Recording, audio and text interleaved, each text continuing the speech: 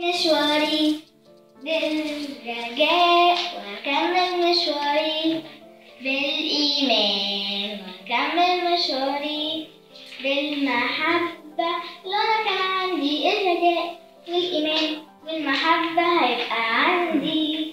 الفرح. طب يا ترى يعني إيه الإيمان والرجاء والمحبة؟ الإيمان والرجاء والمحبة. الرجاء يعني إن أنا أرجو من ربنا وأستناه وبكده هتميل بالسلام. والمحبة يعني إن أنا أحب كل الناس زي ما ربنا حبني.